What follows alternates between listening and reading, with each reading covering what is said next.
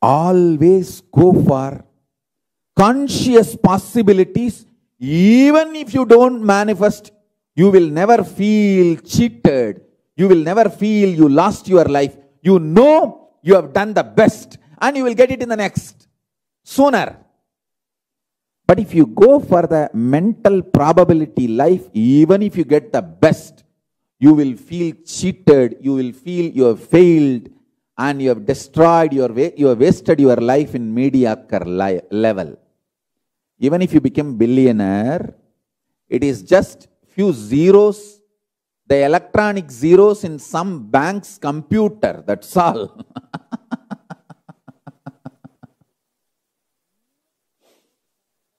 But if you are consciously rich and you spent your life on manifesting this powerful conscious possibilities, even if you have manifested only few, you will feel so confident about yourself. In the next next births, you will achieve, you will manifest everything, you will fully become enlightened. You will feel the life given to you was used to the optimal level. That is why I am saying, for what you spend your life matters. For what you spend your time matters. Are you spending it for a few millions and billions? Or are you spending it for conscious possibilities? Your enlightenment, it matters. I tell you,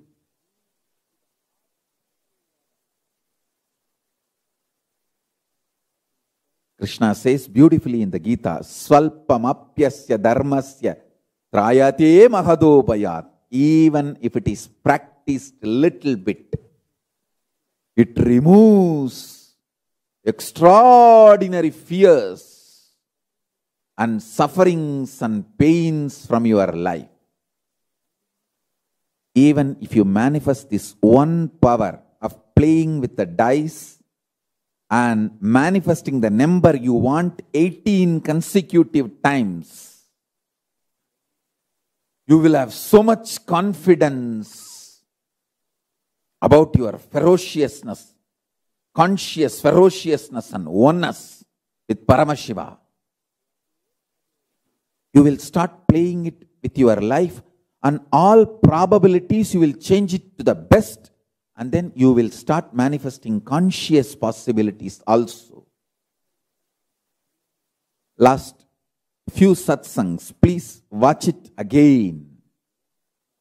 It need to sink into your system because you went through too much of gaslighting by society. You need to go through now real enlightening to remove all that impact of gaslighting by society. The societal gaslighting need to be cleansed, detoxed. The real enlightening need to happen in you.